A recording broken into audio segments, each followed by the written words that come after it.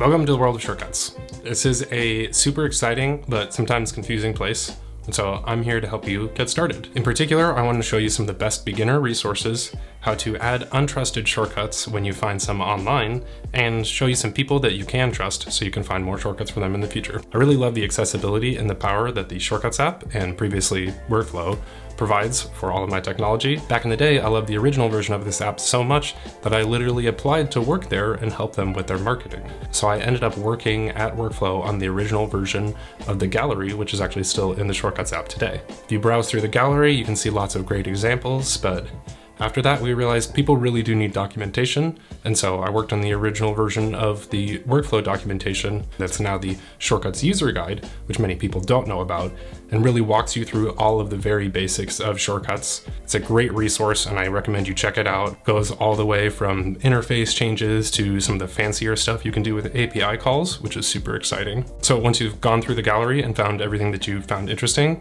and then you went through the Shortcuts user guide, you're actually in a pretty good place to get started. Ultimately, Apple isn't going to teach people everything they need to know about shortcuts, and that's kind of where the rest of us come in. So after I left the company and Apple turned Workflow into the full Siri Shortcuts feature set, I realized people still need to learn how this works, and so I've gone out and created my own videos, plus now I've got a curated collection of shortcuts in my shortcuts catalog that you can check out. So this consists of starter shortcuts to help you get going with all of the basics, and each of these has a bunch of menus in them too, so you can see all of the different functionality that you can get out of just a single shortcut. I've also curated all the 300 or so actions in the Shortcuts app into what I call the action directory, just so that you can see what's possible outside of the Shortcuts app, and also I can relate all of the shortcuts that I've created back to those actions. I've also created a second set of more powerful shortcuts for my membership program, some of these are exclusive, but some are also pre-release ahead of when I'm putting them into these videos. And I've also got live streams where I can interact with people directly and we can learn shortcuts together. Plus to keep people up to date with any new shortcuts I'm adding to the free version or the membership and anything else that's new that's happening with shortcuts, I've got a weekly newsletter that you can sign up for. Links to everything will be in the description below.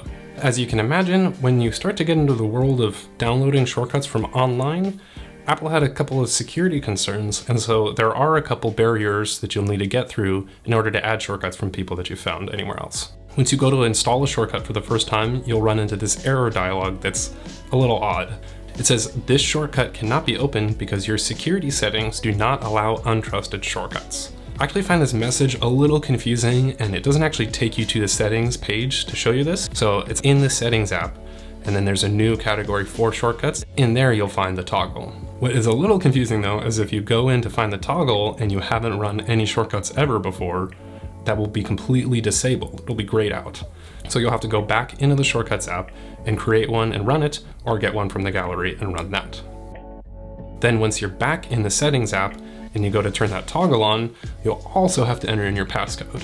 This does seem like a little bit much, but Apple is trying to protect you here. That way nobody can just grab your device, allow untrusted shortcuts and add something weird there, and they've got this whole privacy policy here that you can read where they really do clarify these aren't vetted like the App Store. Normally anything that you install on iOS goes through app review, and so it is a little weird that we can just create shortcuts and share them with each other. But ultimately, that has created this whole community around shortcuts because you can basically create your own app. You don't have to become an app developer, and so those little app ideas that you have can just become shortcuts. You can share them with people online. It's great. But Apple being Apple, they want to make sure nothing's weird going on. And so anytime you add a shortcut, it'll open into the gallery in the app, showing that shortcut and all of its actions. Here you can rename it so it works better with Siri according to your tastes. But you really should look at all the steps and make sure it matches the description. Nothing odd should be going on. You can literally see everything that's happening in the shortcut. That should help you understand whether this is doing something nefarious or not. And even then, once you get down to the bottom, there's a big red Add Untrusted Shortcut button.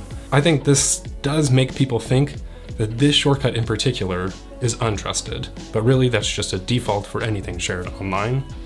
So it can be a little bit scary. You, you literally have to press a big red button. And finally, there's one last little step. So once you add the shortcut to your collection and you're all excited and ready to go, it does have per shortcut permissions for anything like GPS or contacts data.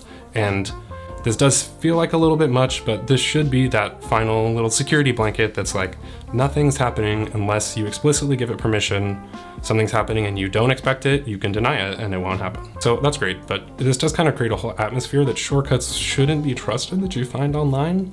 And so I want to walk you through the best places to find those shortcuts so that you can kind of skip past that while still reviewing every one along the way. One of the largest communities for shortcuts is on Reddit r slash shortcuts. There's tons of people in there sharing shortcuts every single day. They do like to use a service that's called Routine Hub, although I don't personally use it that much. But I will say that the moderators on the subreddit are awesome, and a couple of them do amazing work making sure that everything out there is not going to harm anybody. And the Shortcuts community is great to check out. There's also tons of great YouTubers who are making videos. I've become friends with Chris Lawley because he makes awesome Shortcuts videos, but there's so many out there that I'm actually making a Siri Shortcuts playlist that you can follow. I'll put it in the description too and you'll be able to follow those shortcuts videos over time. Beyond that, there are a few people that I really do trust and I learned workflow from originally back in the day. David Sparks, also affectionately known as MacSparky, and Rosemary Orchard.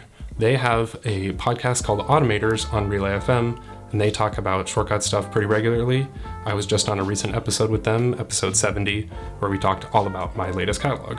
David also has his own shortcuts course that you can buy and get hours and hours of footage exactly walking you through all of the steps of shortcuts. And then Rosemary even has her own book called Take Control of Shortcuts. So I definitely recommend getting both of those and digging in.